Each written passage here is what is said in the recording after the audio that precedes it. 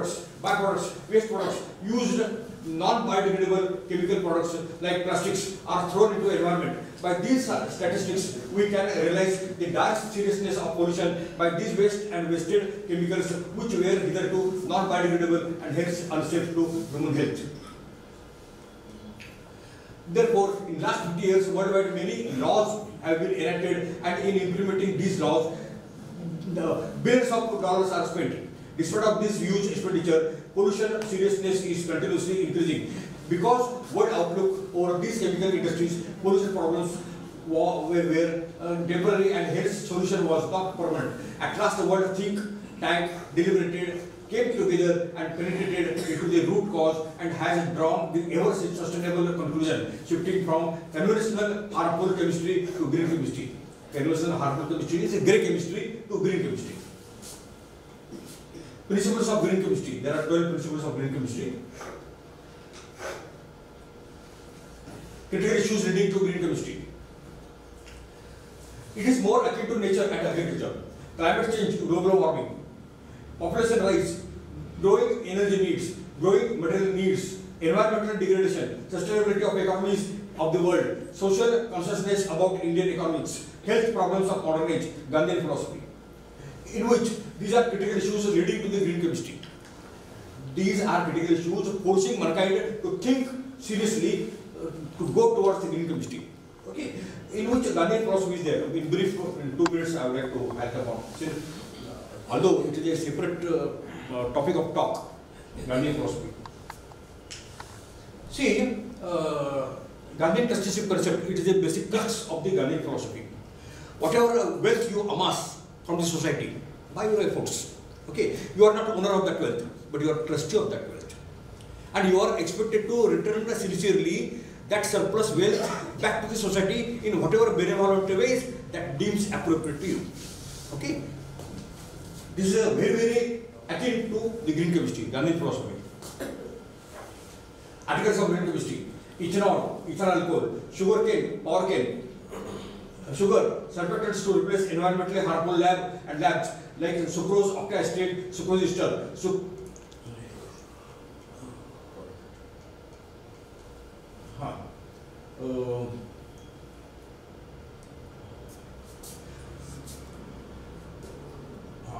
See, uh, sugar is the source of as of today, energy as well as food.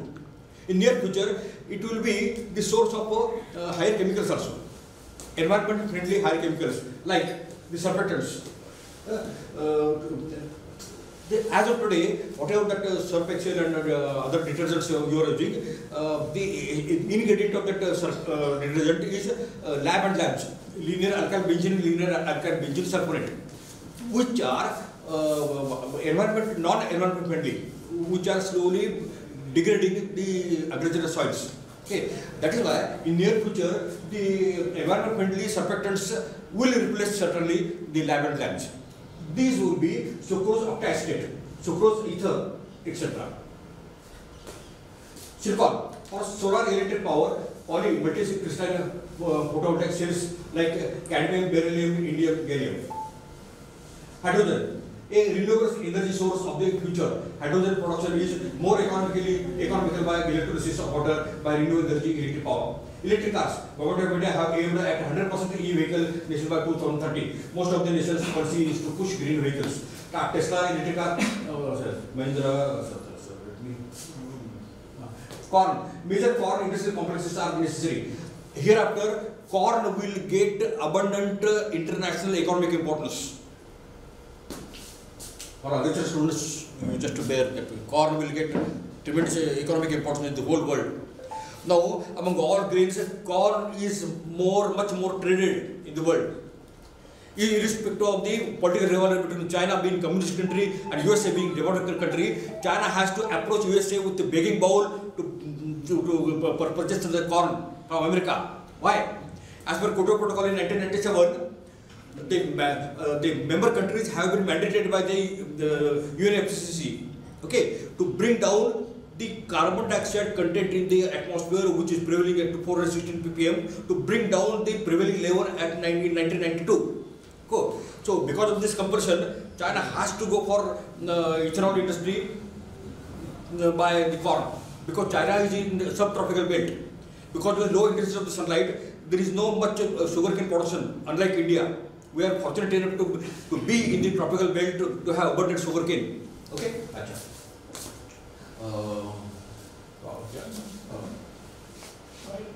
Major corn industrial complexes are necessary. Imports of glucose, adjunction chemical, junction chemical. Imports of corn maize in international economics. Rationing of corn in future. Okay. Bioplastics, polylactic acid, PLA, polyhydroxy butyrate, PHB, polyhydroxy alkanoates, polytrimethylene terephthalate, PTT, polybutylene adipate, co-terephthalate, and uh, plastic notes.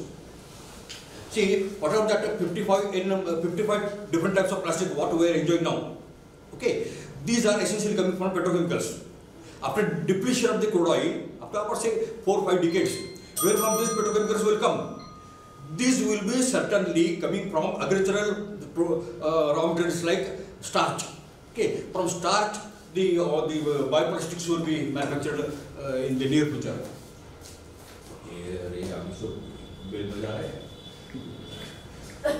again, uh, you know, you know, invest over. It is five years uh, half a seminar. Uh, I have been forced to uh, uh, bring down to that within the, 10 minutes uh, presentation. You know, to over natural pigment production from algae. A few blue green algal varieties are absorbing high level salts from algae soils, hence useful to reduce salinity of the algae soils. Industrial scale biorefineries of algae can be established. Okay. Hydrogen generation from again. Uh, hydro, uh, uh, cotton will also be the one of the uh, prominent uh, articles of green chemistry in the future. Cotton. Okay. Yeah. Organic farming, biogas, these are the articles of green chemistry. Cotton, uh, then forest products like shellac black, uh, very good demand in the world. Because shellac has got a very high dielectric constant because it means the least electrical conductivity. Because of this characteristic property, all electrical equipment manufacturing company in the world, they are uh, importing shellac from India. Okay. Acha. Uh, uh, next. Uh, there are uh, more than 100 uh, gibberellins, means plant growth hormones, in which GA1, GA2, GA3 are the commercially important uh, gibberellins, in which GA3 is the gibberellic acid that we are talking about which is now being used by the grapes 10 ppm, 20 ppm GA. Uh, fuel cells, supercapacitors, or the graphite, graphite to graphene, then fullerene and carbon nanotubes. Graphene is many times stronger than steel and much lighter too. Oh. Ah, next.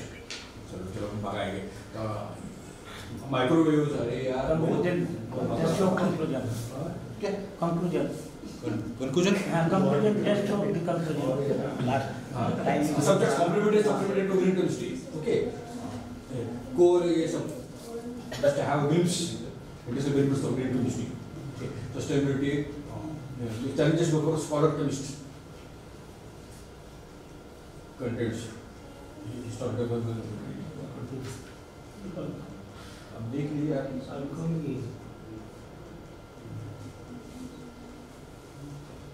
base. The general industries in Euro, India as well as in Maharashtra, both I have given.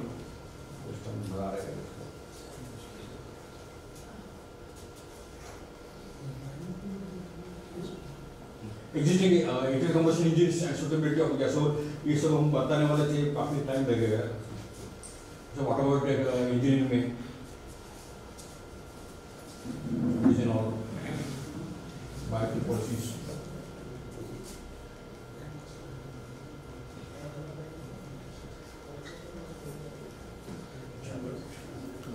Uh, and in the conclusion, the finiteness of coal, petroleum and natural gas reserves has forced modern civilization to insist again on alcohol as a potential viable and ever renewable replenishable green fuel to empower automobiles to keep social wheels of civilization continuously moving one of the keys to sustainable development of the mankind. Thank you.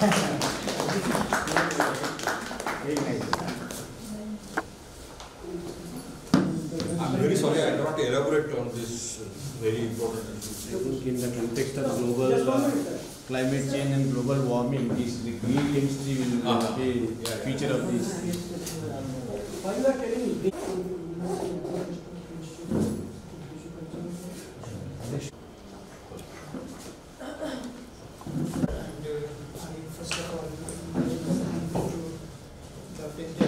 question.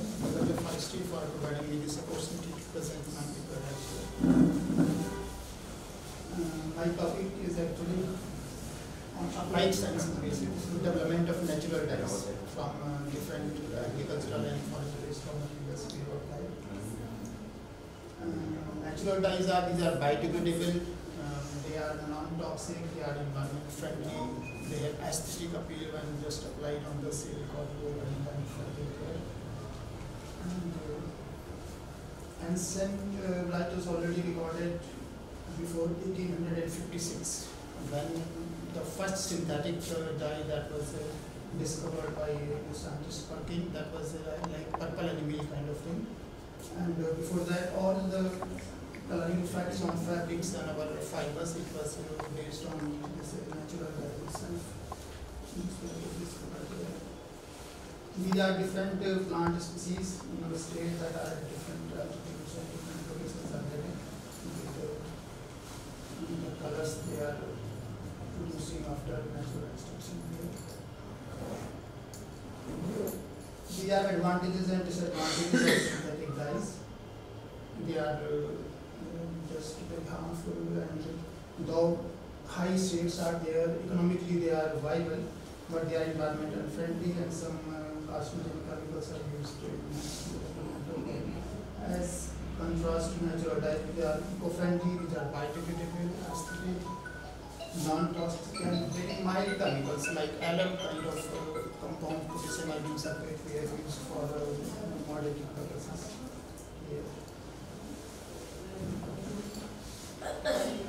This was protocol designed for uh, material, collection of material, preparation of the sample for extraction of natural colors, optimization of experimental conditions, then extraction, and after that, in water, water soluble uh, extracts we have generally developed here. I have done it on methanol also, methanol, some organic solvents also we have applied, but the results are not uh, like that. Extraction, filtration, recovery, rotation, drying, and the final product as a natural dye we have achieved. This was experimental protocol designed for material deposition like 1 is to 10 for approximately 60 minutes, 95 to 100 degrees Celsius, 5 to 15 percent dilute. This 5 to 15 percent range, uh, 10 percent range from 5 to 15, it is actually varying for different raw material that we are applying. Um, in this there are pinus dogs, but these might be people like these forest species, Pinus roxburgh, pine needles are there, and this is actually not very much harvested uh, or any other kind of utilization. Very difficult to just sort it out there. So five percent from this kind of material, and up to when we uh, come to populus or eucalyptus or like lantana camara also we applied here for 14 to 14 to 15 percent of the yield natural colors we have here. These are the time uh, experimental protocol for that. 75 55 in silk and wool when we apply uh, our water based colors, and about 90 to 95 degrees Celsius for one hour when we take cotton as a fabric or are fibers. These are the modeling conditions for our experiment for the fair design. Dry fabric interactions.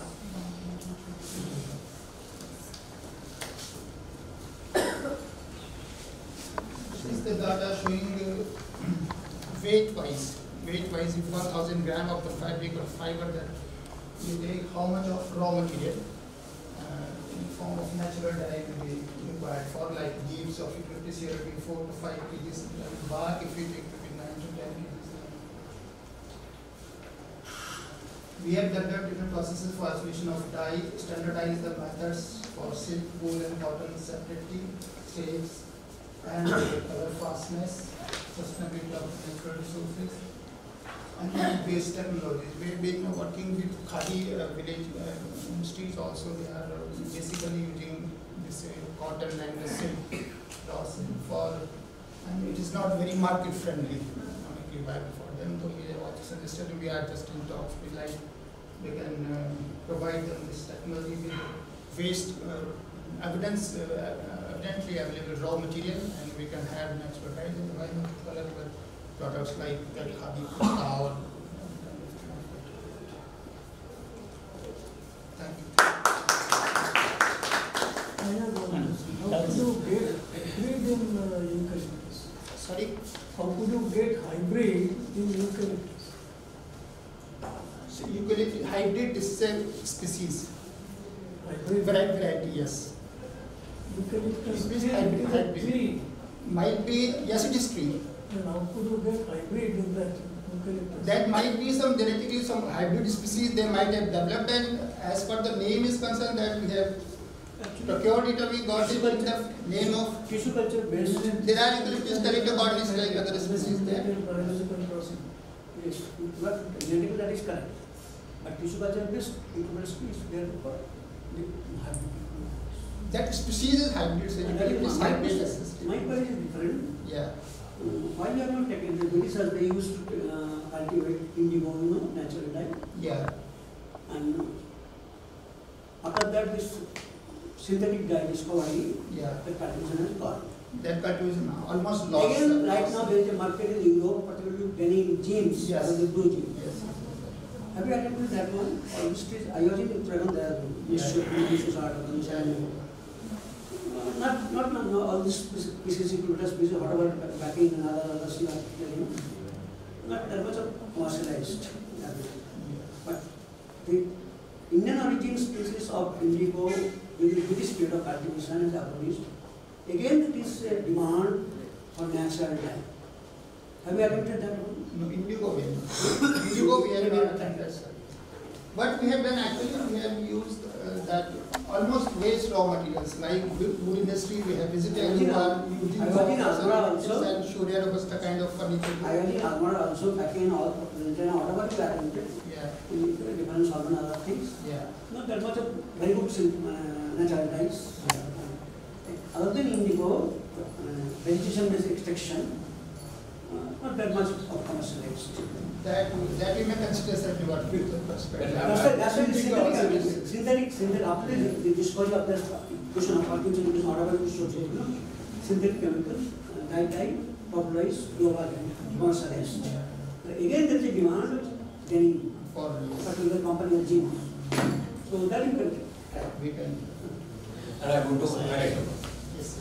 See, I will, I will, I will highlight upon that, that issue. Okay, see, about uh, 15 years back, okay, Germans they stopped uh, importing garments from the India uh, under the reason that our garments are dyed by synthetic uh, uh, dyes which are made from uh, petrochemicals, which is suspected to be carcinogenic as per US FDA and Indian FDA. Okay, then uh, that that awareness, regional research laboratory Jammu, they had developed a red dye out of the uh, red meat. Katya Kachubur, red bit, vegetable bit. But that quantity is so less that we can industrial person, uh, there is no economic feasibility of that lower capacity.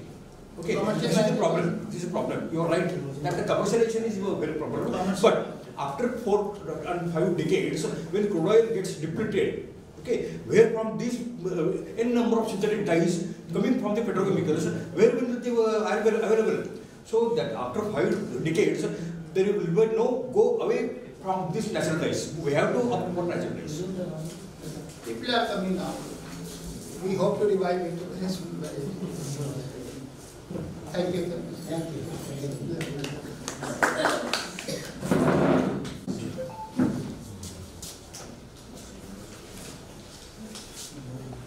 Dear respected Chairman, uh, Dr. Pradeep Desai, and Co-Chair, Dr. Ghosh, and reporters and our esteemed participants. Uh, Actually, I will uh, take all of you into some different area uh, for further discussion. Actually, I am discussing about the portal, this is Geo Portal, which was developed by NBCWP as a robust digital platform for uh, you know dissemination of information and managing the natural resources, particularly land resources. Uh, this portal actually, uh, if you look at the you know design part, uh, we uh, designed, NBCWP has designed and developed this portal as a web-based system with uh, diversified soil resource-based thematic databases and services and applications for dissemination. And this portal enabled us to organize geospatial data on soil and allied resources through a viewer and catalog metadata because a lot of catalogs we have developed. And these databases on, uh, on Bhumi portal have been developed as a rational, relational databases to store, query, uh, analyze and visualize various soil and allied resource databases.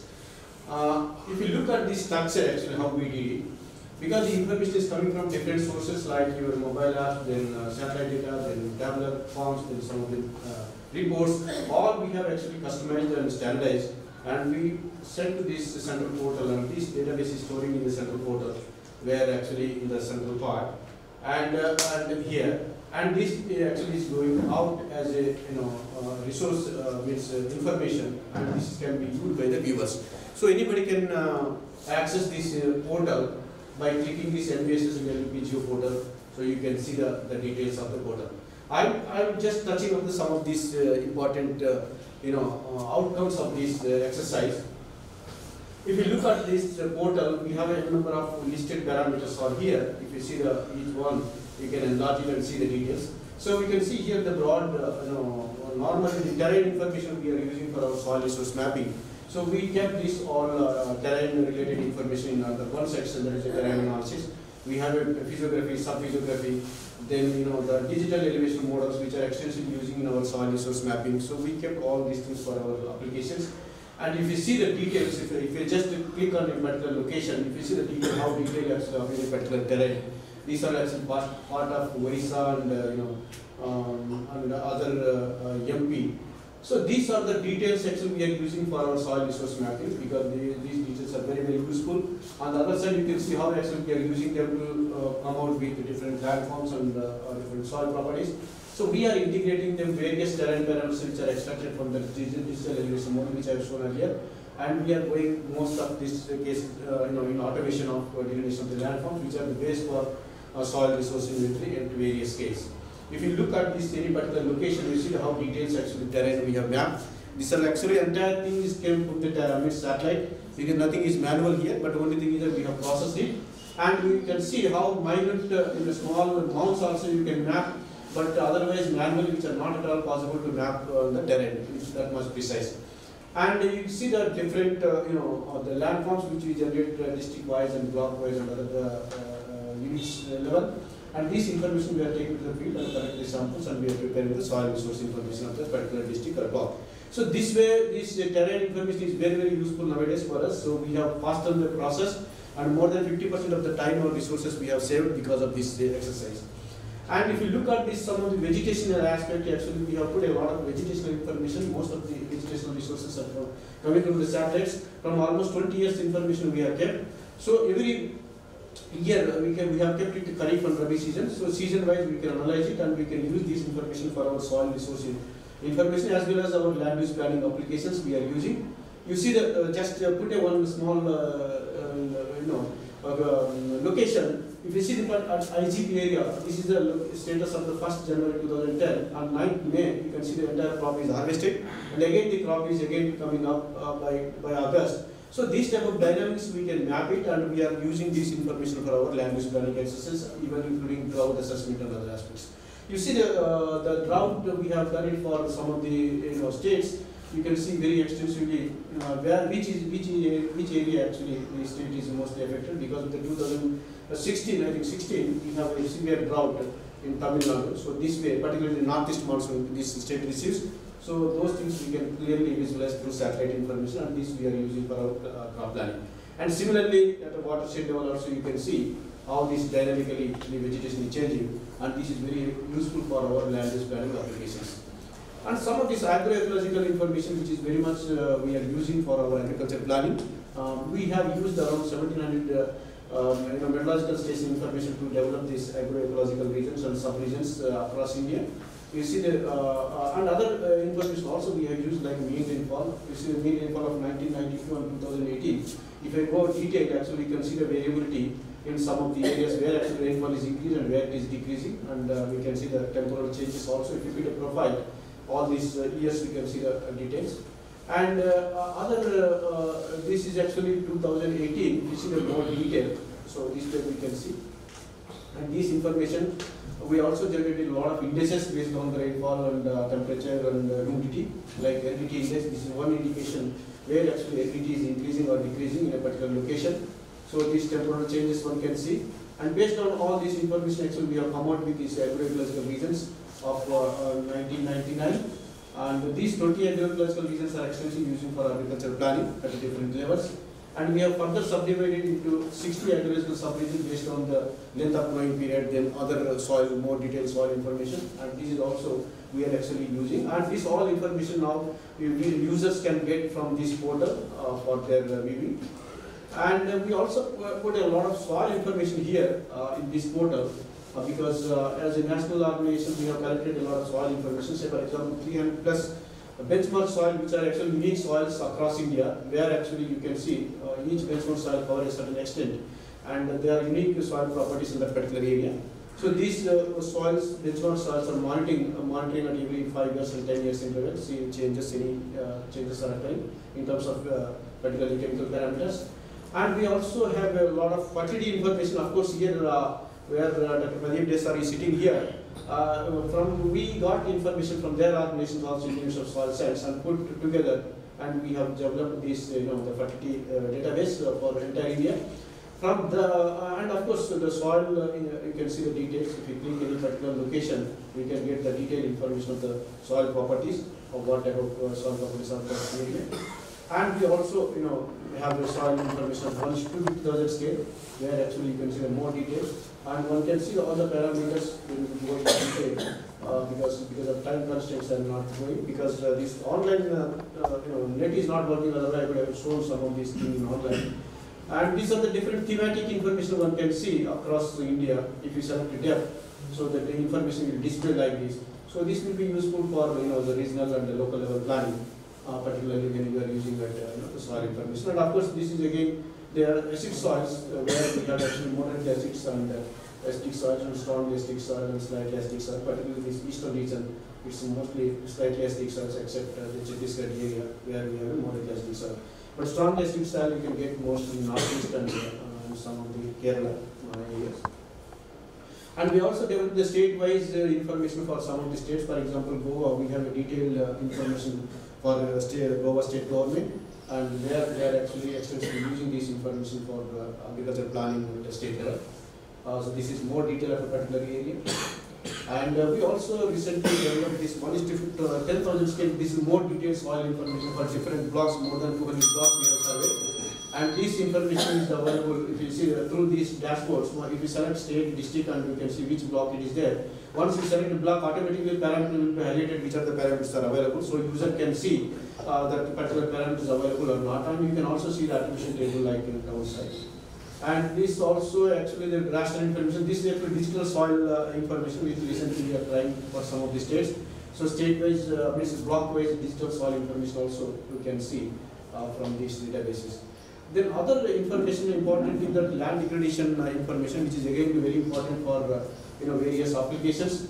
Uh, these are the actually grids, grid more than you know uh, 3,000 grids actually we have used to compute the soil loss. If you see this uh, soil loss information, because most of the time you know the parliament questions and all we are addressing from these databases.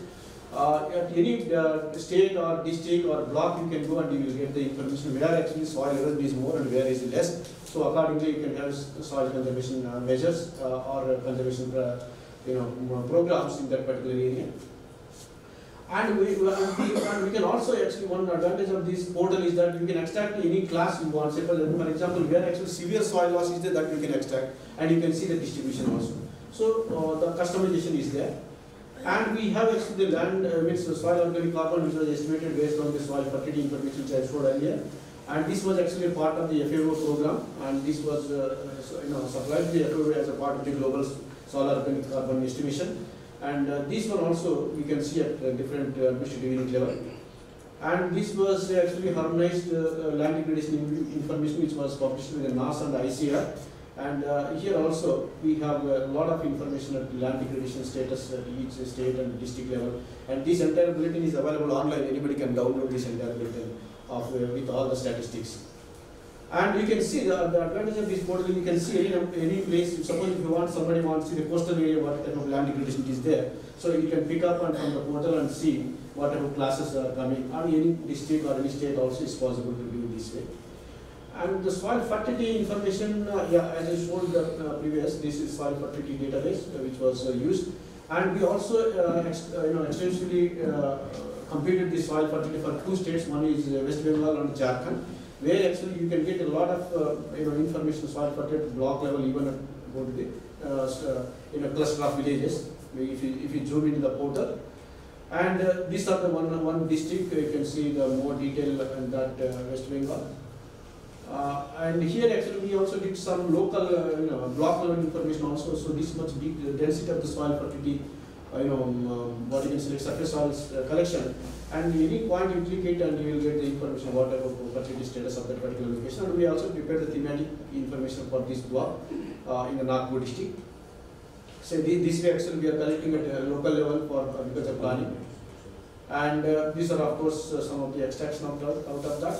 And for Goa, actually, we did very extensively for even at parcel level, you can go, it means any farmer, like you can go to the district, state and block and even village. If you select any parcel number, farmer name or parcel number, you will get the soil health card like this and you can see the what type of crops are suitable and what the fertility status and what recommendations of fertility that particular farmer can apply for a particular crop. So we can go up to the, up to the, you know, farm level, but it is available only for Goa state. So this way actually we are trying to do for entire uh, national.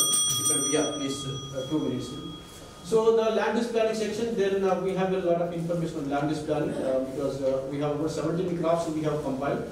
Uh, we have developed the land use planning and you can select any crop and see the status. So for example, this is the rice and you can see the highly suitable areas for rice only or you can see the moderately suitable. Class wise also you can see where the distribution is there and which of the states are coming like that.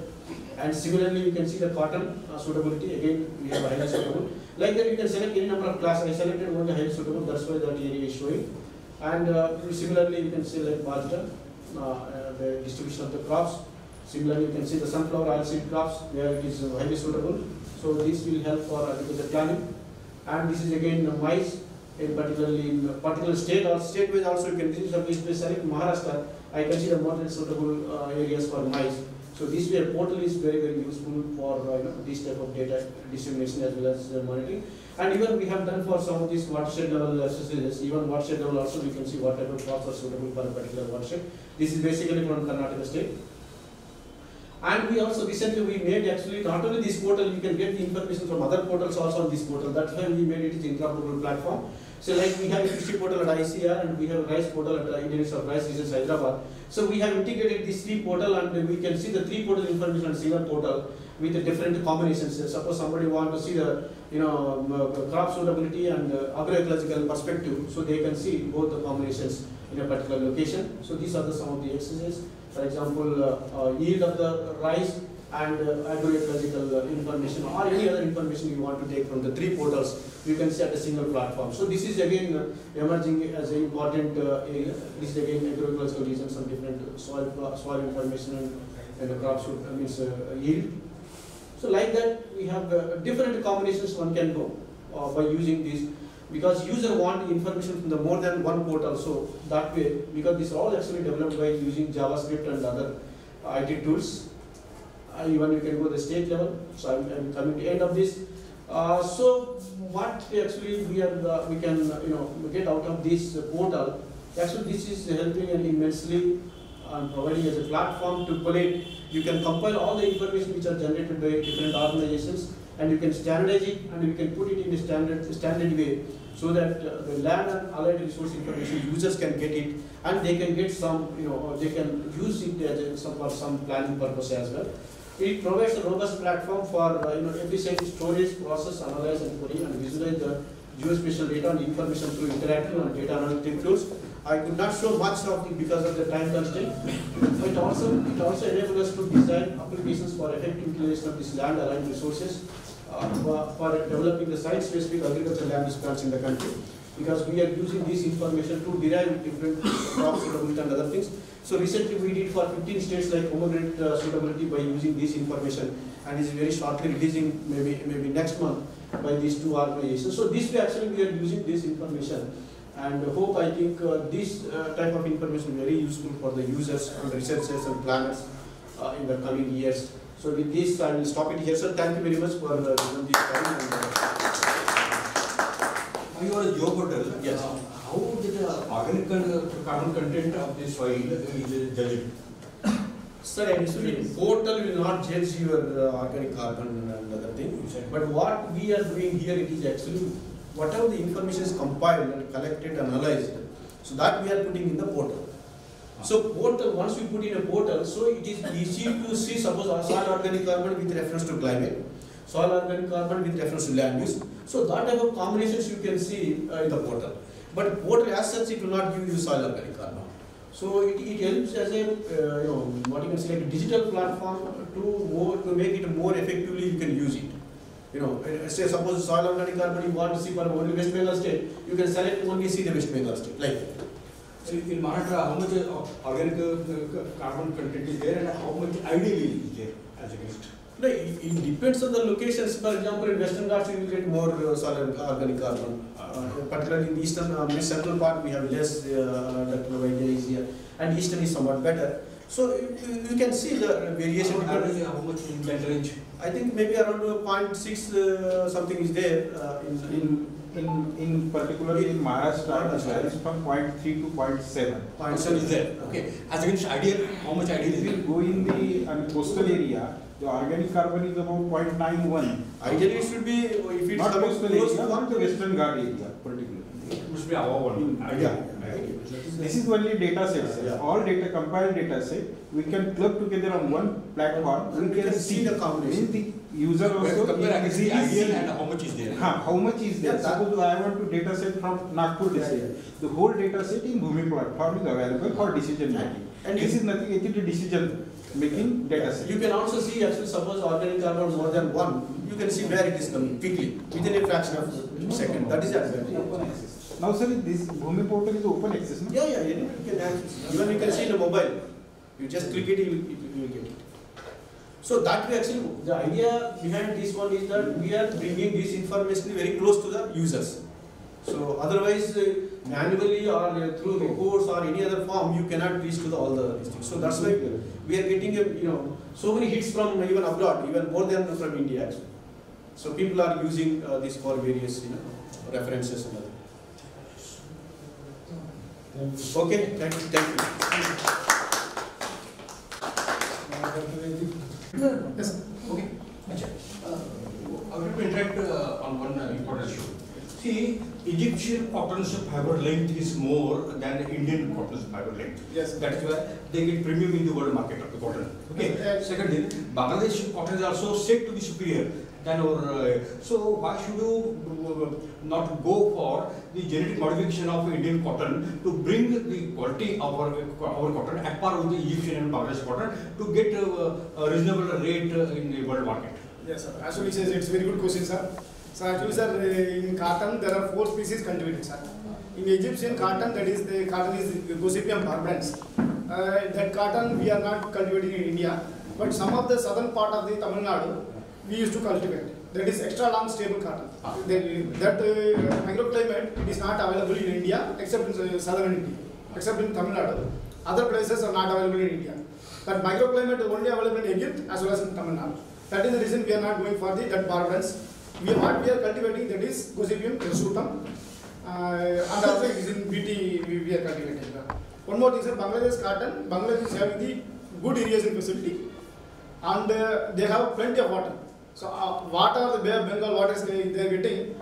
Uh, for example, this Ganga, Brahmaputra, what, uh, they are they are getting plenty of water. That is the reason they are getting plenty of water. That is the reason they are getting superior quality of cotton. We are growing under the, for example, uh, it is uh, rainfed conditions we are growing, sir. Uh, that is the reason more, more than nearly 67% of the cotton growing of India is rainfed.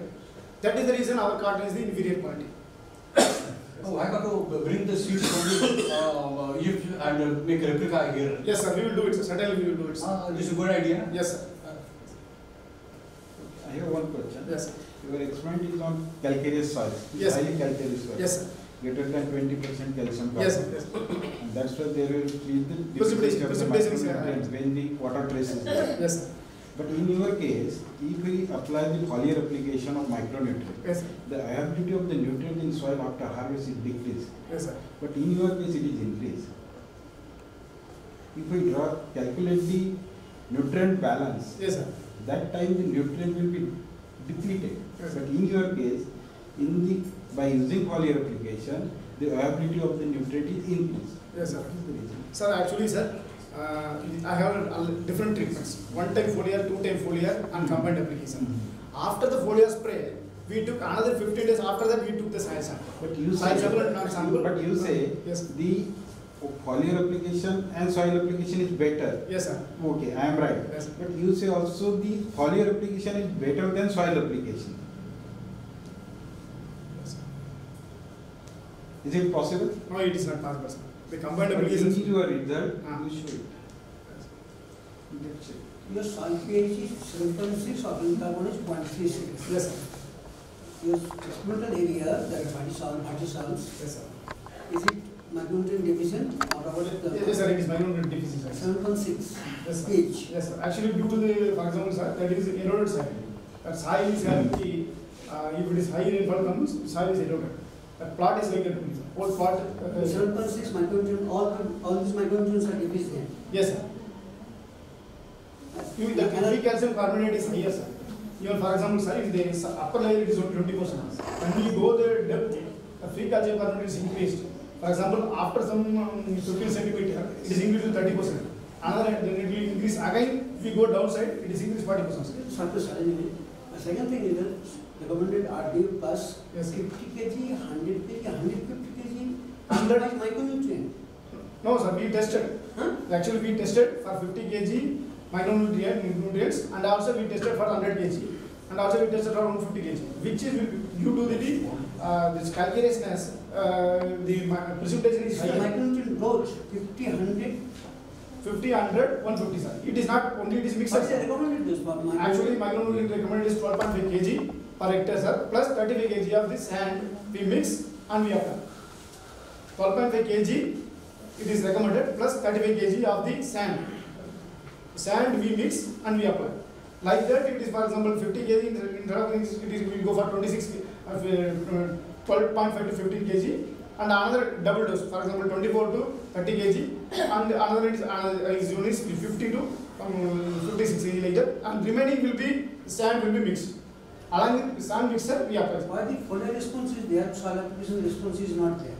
Uh, Sir, actually, sir, that uh, foliar application, uh, the, the absorption pattern is higher, absorption is higher, sir. Uh, in soil, due to the calcareousness, the precipitation only it is avoids the uptake of the uh, plants. sir. What is seven point six pH? What is the calculation?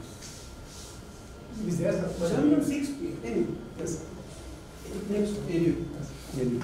What treatments you had? Sir, I had two treatments, sir. Twelve treatments, three replications. It was done in LSD, Yes, sir.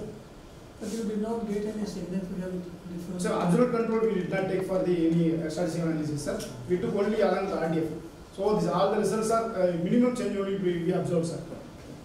That is not statistically We, we, we did not take absolute control, sir. Due to it is only contribution from soil, so we want to.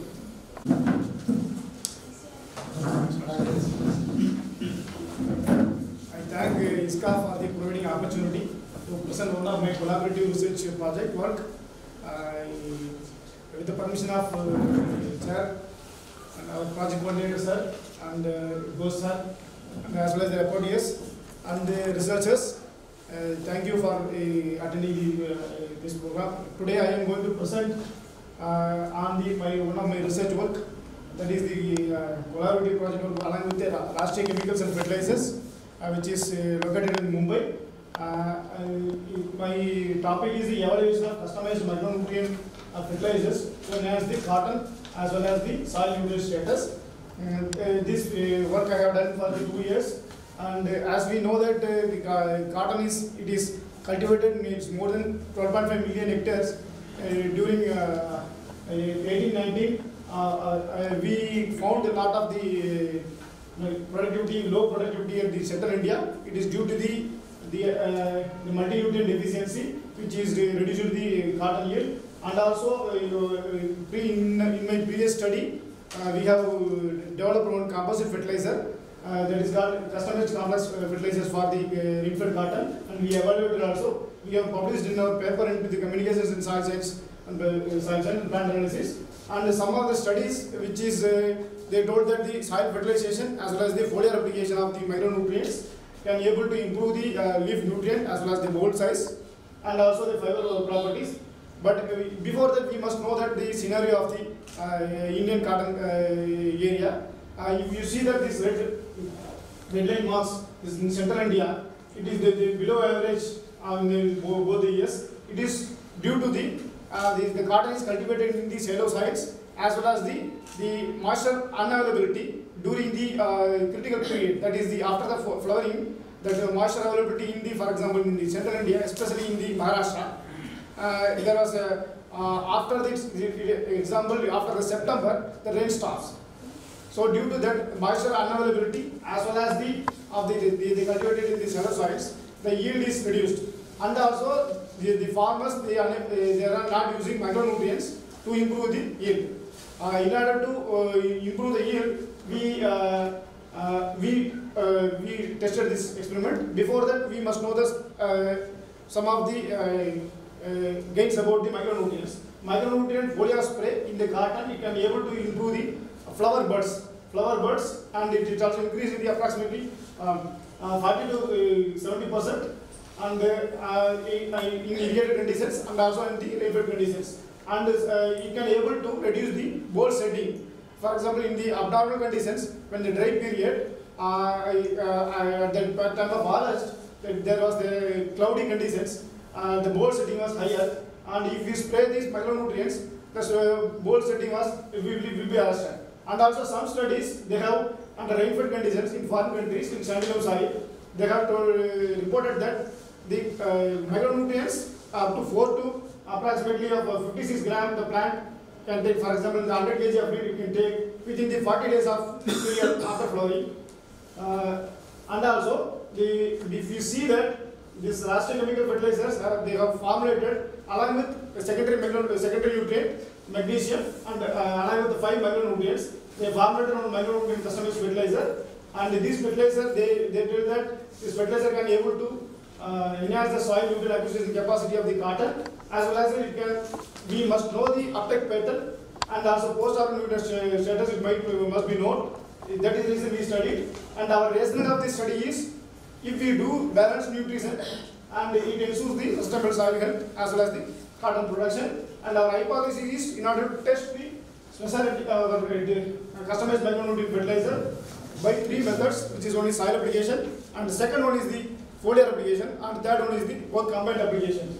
Uh, we, this aim of the study is to if the leaf reddening is the major problem in the cotton which can reduce the uh, yield due to for example, in the cotton, cotton boll as well as the subtending leaf will be there. All the nutrients from the subtending leaf will be transported to the bolls, then only the boll will uh, getting all the nutrients. But due to the leaf reddening, the nutrients they are unable to go, go to the bolls.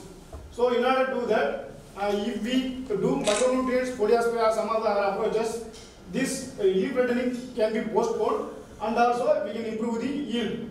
That is only our status and also it can improve the soil nutrient status also. Uh, based on this hypothesis, we formulated our objective. Uh, for example, this, this micronutrient customized fertilizer great for the cotton growth as well as the yield attributes. And also we want to know the effect of this uh, customized fertilizer on the leaf reddening and as well as the fertility status. And for that, we have formulated with 12 treatments along with absolute control and the recommended dose of fertilizers. Uh, the recommended dose of fertilizer for the cotton is 150 50 NPK per hectare. And we have tested by foliar, one time foliar spray, and uh, two times foliar spray, and as well as soil application, and both uh, uh, combined application of foliar as well as the soil. This is the rainy, rain and the rainy days of the uh, two, two years of our study, and all the data which is we derived, uh, we have uh, analyzed by using of uh, Pansen Sukmasme and uh, and also our uh, uh, trial is the replicated in three times and uh, this this, this Rasi 6.9 Bg2 is the highly sensitive to leaf reddening. Uh, and also the, we characterize our soil that is the rainfed vertisol. It is having the uh, calcareous uh, calcium carbonate free calcium carbonate of nearly 20 percent and also it is clay in texture. And we our fertilizer doses we in the case of nitrogen we split it into three times and in the case of phosphorus and potassium we have given it for the two times uh, uh, phosphorus sorry it is uh, applied only basal dose. Uh, along with this foliar spray of micronutrient in order to maintain this uh, pH of the solution, we use lime of 0.25 percent uh, of during 40 and 60 90 days, and in the soil application of 50, 100 and 150 kg of uh, micronutrients applied during 45 days of sowing. This is our initial uh, experiment uh, uh, soil soil analysis uh, data, and uh, and, and also we observed the morphological cotton morphological and root parameters, and also this this yield parameters we observed, and we also took the observation on the of, of leaf reddening by the sum of the grading technique, and we tested the fiber quality of the cotton, and also these the physiological uh, parameters like chlorophyll, leaf area index, and and nutrient uptake pattern. We have studied after 65 days after sowing, and also we studied the post nutrient uh, post harvest soil nutrient status of all, all the treatments. They, coming to our result, even though our all the uh, four parameters, example it is, for example it is uh, boll number per plant, seed cotton per, per, per plant, and also it is uh, boll weight, uh, seed cotton per hectare. Even though this all the data are is non-significant, but we uh, found that the some of the treatments having the higher values compared to of, of RDF as well as the control. Uh, in the case of the T3, uh, uh, for example, in the case of T4, uh, that is the RDF plus one time foliar spray having the higher bo- bo- boll boll numbers per plant, that is approximately 37 bolls per plant. In the case of uh, uh, seed cotton, it is nearly 163 gram of uh, T4, but in the case of boll weight, our soil and along with micronutrient foliar spray application, uh, it is improved the bole size compared to other treatments. It, ha- it has got approximately uh, 4.53 gram, but uh, in per basis, our uh, one time foliar application had uh, more of uh, approximately 78 kg of higher cotton compared to RDF, and also it's highly significant to compared to our uh, absolute control. Uh, these are the results which I have already uh, told, and also all the results are uh, equivalent, not par with uh, with uh, RDF. And if you see come to the uh, cotton leaf nutrient status, uh, we found that it is improved the nutrient status of along macro and micronutrient status of the leaf nutrients. And even though it is not, it is having the minimum effect on the yield, but it is uh, sufficiently assisted for the improvement in the nutrient status of the cotton. Uh, uh, and uh, we can see that these micronutrients, except uh, iron, uh, this boron, copper, zinc, manganese, it is improved compared to RDF as well as the uh, absolute control. Uh, similar, similarly, we see this among the, these four, uh, four combinations, this foliar application and soil application had better, uh, better uptake compared to others. Uh, and also if we see that fiber quality, uh, uh, growth as well as the fiber quality, it is none of them get the significant. Only the lead index gets significant compared to our RDF. It have improved the 17% of uh, lead index is improved. Uh, and other parameters like uh, the, uh, for, for example, it is the biochemical parameters, the physiological parameters, uh, which is uh, uh, improved compared to other treatments. And also we find that this foliar spray application of micronutrients, it is improved two bolts per plant, and that is the reason it is improved the uh, yield of the cotton. This is our soil nutrient status. The soil nutrient status also some uh, phosphorus, potassium, and uh, boron, copper, as well as the zinc. It is uh, had found a significant increase in the uh, of uh, soil. Uh, based on these uh, results, uh, we found that uh, due to this availability of moisture throughout the season, we are unable to get any leaf reddening symptoms uh, in, the, both both the years. And uh, these these uh, these these these are my key points. Uh, in order to provide any clear solution, we must go the again we have to test the micronutrient fertilizer. A continuous study in the for, for necessary validation. This is my view of the. Thank you. Thank you.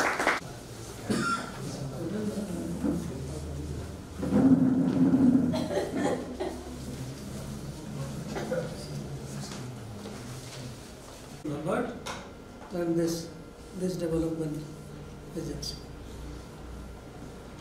So this was one suggestion. Yeah. Uh, like point four to ten percent slope we have done. Study, we study. We start, we studied, so can it be like a gra- graded, like uh, up to this much, what may be the different intervention, to this much slope, what will be the So we, we three could not, we could not do that, And uh, we did number something. two, we- you can try it later on also. Number two, what is the before and after the situation? How much income was there and later on and due intervention, Just I can give you one example, though I have not presented. Earlier, the rice production, particularly the kharif season rice, it was hardly, maximum it was four point, sorry, two point three tons per hectare. But after this intervention, it was four point six tons per hectare, so almost double Hmm. in those selected villages. Because of supplementary irrigation. Ah, With those irri- irrigation from those, happas, actually they call it happas, those ponds in those districts, they call it happa. And we just renovated those happas with the fund support from NABARD. Do you think that this uh, radial lateritic soil is suitable for rice?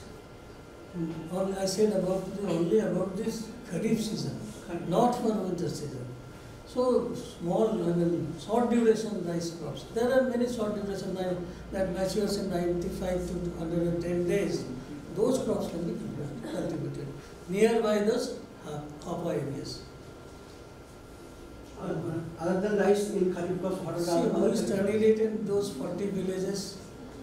So We this is studied the- three thousand, three thousand farm pan minerals, and our study was restricted there only. But we are extending this, you hoping that there many people will come forward and they will join in our study, in our project. And then rice can be cultivated.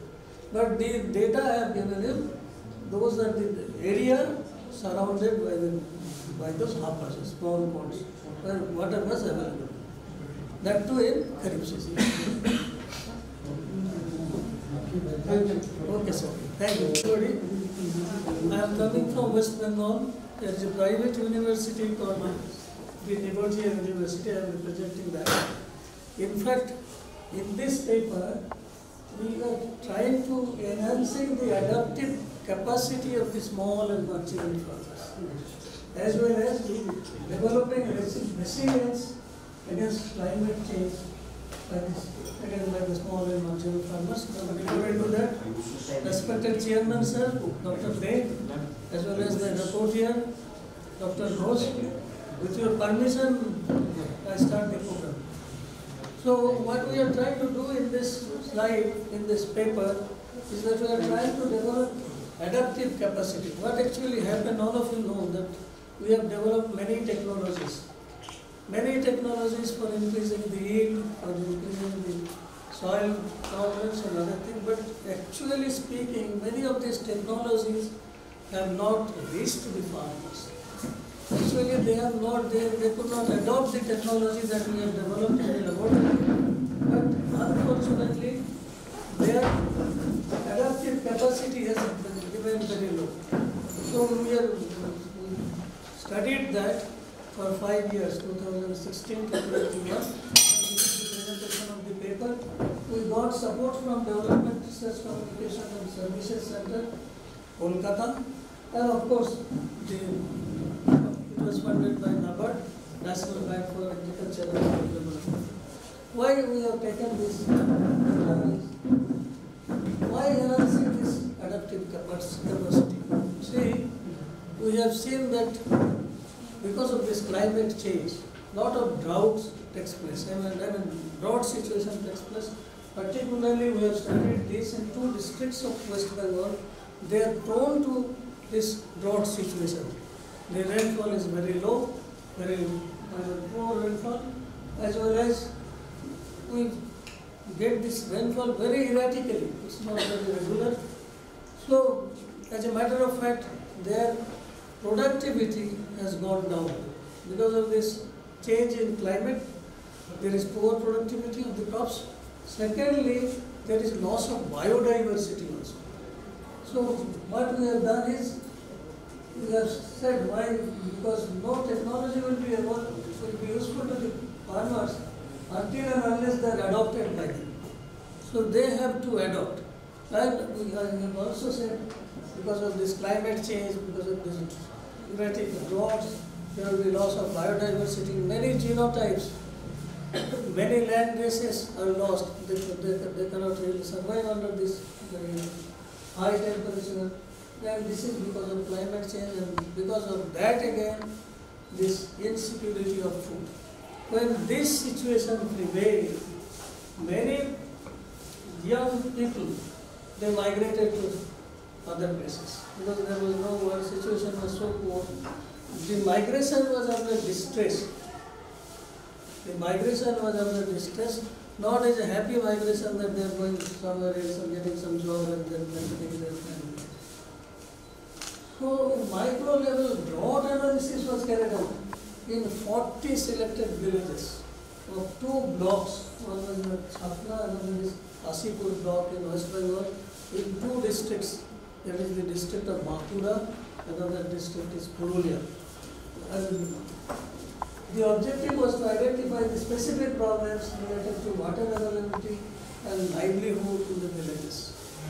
So what we do is, the idea, idea was to develop a decision to formulate. I am not going to read this because it will take time. So our idea was how to enhance their adaptive capacity, how to do that. So what we do is we studied this topography of the land, what were the perennial sources of water, where before we initiated this program, there were uh, water availability in the ponds were hardly for two to three months. But after we have initiated our programs, then water availability, in the ponds, they remain up to eight to ten months, sometimes even for a year. And with that water, they were able to harvest many crops, they were able to grow many crops, harvest many crops, and we created some small pond-like structure. Either they, they, that those ponds were available or we renovated them. Now even fish is cultivated. So their adaptive adaptation capacity is changing. I am not going to read it. So in this paper we have tried to enhance their adaptive capacity by renovating the ponds, by you know that water scarcity was there, to increase that water capacity at the village level so that they can irrigate and other things. So we have to, mm, and these two districts are prone to recurrent droughts. So we selected these two districts. I have already said it, they are erratic rainfall with long dry spells in between. There will be long dry spell, particularly in the month of April to up to November, you can say there will be long dry spells. There will be high temperature, 42 degrees and then 45 degrees centigrade. So, and I, this is the, I'm showing the map of the district. This map is, I'm not going to explain because many of the, I mean, audience is either from Bengal or if they are not from Bengal, they will not understand this map.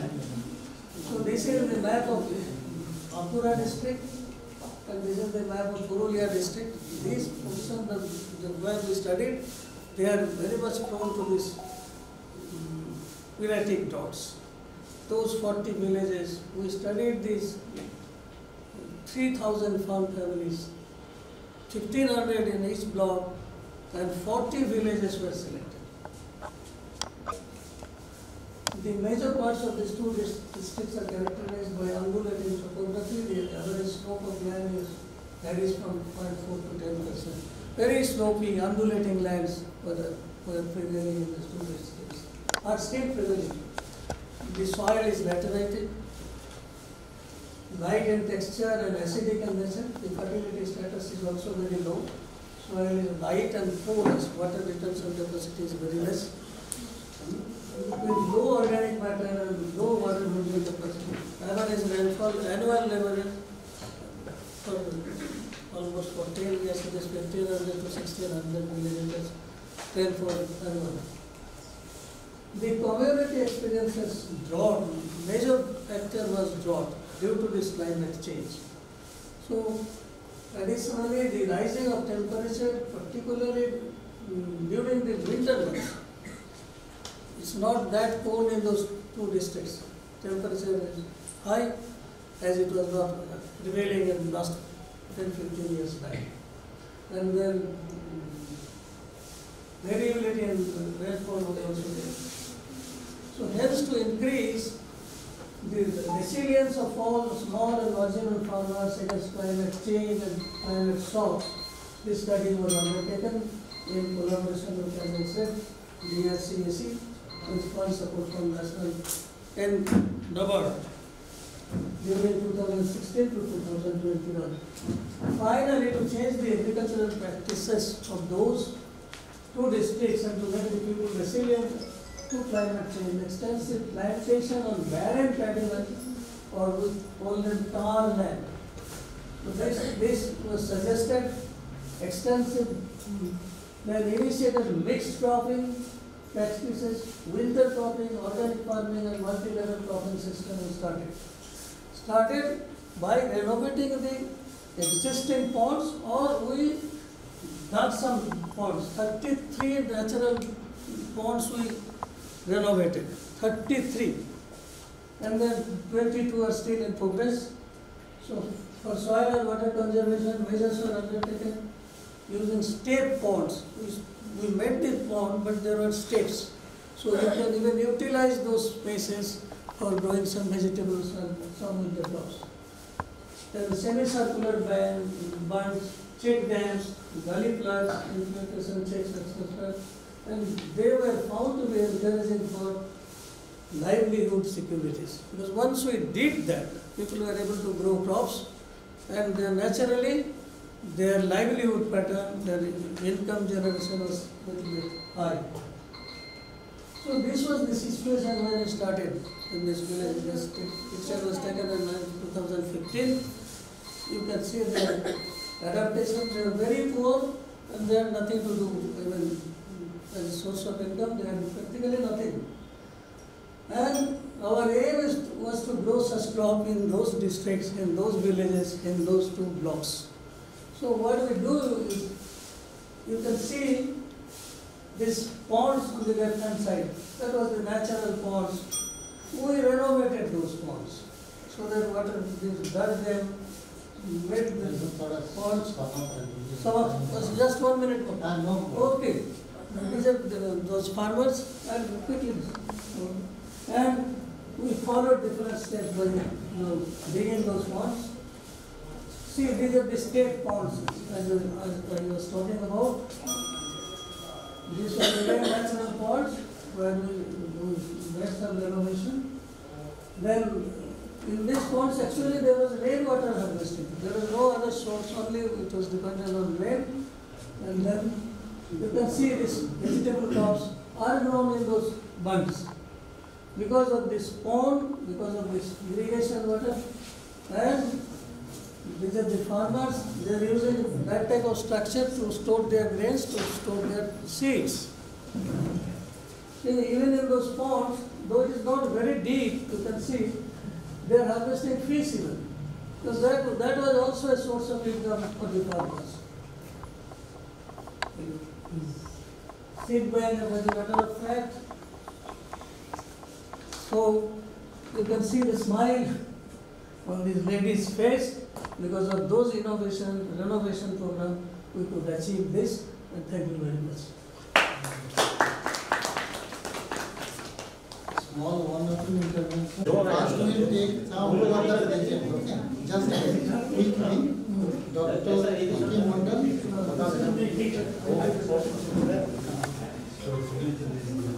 Then, uh, Dr. Mukhtar. Dr. Mukhtar और Dr. Chand. Second paper. Usual status of training Dr. Mukhtar or Dr. Chand, anybody is there? Dr. Mukhtar or Dr. Chand? Second paper? No. Okay. Dr. Shakil Ahmed or Dr. Sandeep Kumar or Dr. Sobi. Third paper that is soil quality indices from Kashmir, J- JNK. No. Then fourth one is uh, A. Manikandan, deep level. Then uh, fifth one is Dr. Vivek here, then Dr. Dr. Prakash or Dr. Chandrakala or anybody from that paper. Department of Environmental Science, Gulbarga University. Nobody present? Then Raj Devi, Rajdev Rao. Yeah. Then uh, Ra- Dr. Ramamurthy and or Dr. Raju. Anybody? From Karnataka State Open University? No. Then VH Shrikant. Yeah. Yeah. Then uh, Jittu Krishnan. J.U. Krishnan, Jayaprakash, Rajeshwari or Harish, anybody. From Central Tibet Research Institute. Then Jogesh Kusha Rajbhar. Dr. Jogesh Kusha? Ah. Yes. Then you are Shingle. Sangre. Sunday, Sunday. Sangre. Is there? One of them. You are, you are Sunday present? No. Or Dr. A.K. Das. Is Citrus Research Institute. Here only it is. Nobody is here. Then Jitendra Kumar and or, or Dr. Arvind Kumar. Yes, sir. Okay. So we have ठीक है let us start with this total कितना है मेरे पास हाँ presenter कितने हैं available total total predental is available 1, 2, 3, 4, 5, 6, 7. 1 and 2 may be accommodated from last session as I was told yes. later on. Okay. So, this 8, 8, 8. Now it is 3.30. After 5.30, 2 hours. It is hundred twenty minutes. Hundred twenty minutes divided by eight. Okay. Uh, No, eight, eight, ten. Ten, fifteen minutes. Not, not fifteen minutes, it- maximum ten minutes. How many ten minutes? Eight minutes plus two minutes of Eight- question answer. Eight plus interaction. two. Eight plus two. Eight plus two. Ah. It is completed by eight minutes and two minutes. Ah, ये structure clear होना चाहिए. Okay. Eight minutes plus two. Eight plus two, okay. Equally given to everyone. I welcome all in this session. so this is actually the parallel session. Actually in this year, uh, I am very happy and glad that uh, maximum number of participants uh, in oral session as well as invited speaker have come this year. That's why I have to keep uh, in two parallel sessions. There was no option. Initially I thought that it will be only one session. But since seeing this uh, total number of presentations, as already you have seen that, in invited lecture also so many uh, presentation are there. So there was no option, that's why I kept separate. But uh, these organizers, they are giving very small room. This is, uh, I don't know what type of room this one.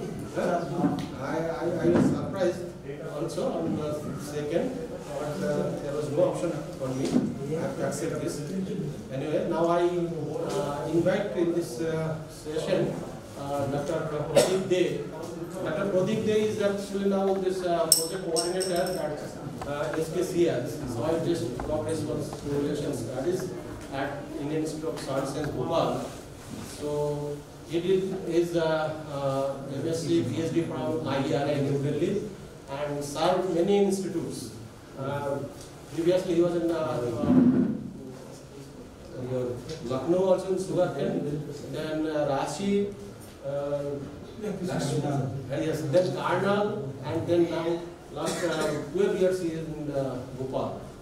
And uh, usually the, this session will share us. So I welcome uh, Dr. Dey to this session. And Dr. Uh, Biren Ghosh, Virendra Ghosh, Biren Ghosh.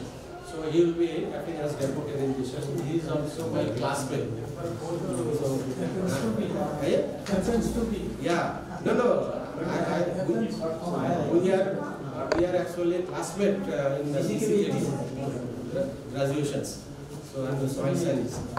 So he is a present principal scientist in BSS LUP Kolkata Center. So I am handing over the mic, no mic, so Dr. Dey will hand over. Uh, If it is not comfortable from here, you can uh, do it from here.